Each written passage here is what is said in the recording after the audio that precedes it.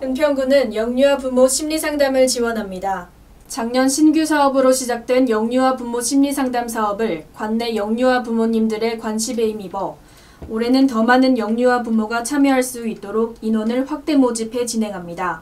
영유아 부모 심리상담 사업은 양육자의 정서와 심리를 지원하고 건강한 마음으로 스트레스가 감소될 수 있도록 안정적인 양육 환경을 조성해 가정 내의 보육 학대를 예방하고자 마련한 사업입니다.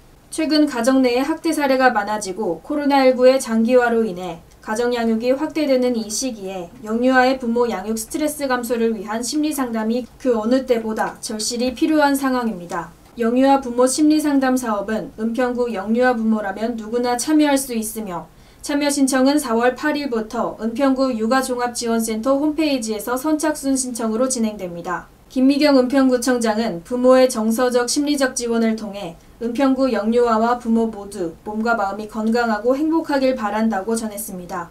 지금까지 국민의 소리 TV 윤소윤이었습니다.